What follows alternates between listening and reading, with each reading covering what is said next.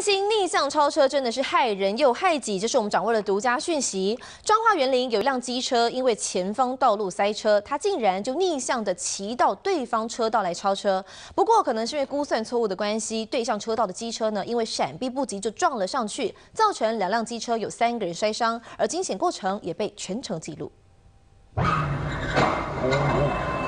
行车记录器的画面上可以看到，身穿红色上衣的机车骑士，因为不耐前面塞车，为了超越，竟然直接跨到对面车道去逆向行驶，和从巷子出来左转的一辆机车发生了对撞，一声巨响，让现场目击整个过程的驾驶全都吓呆了。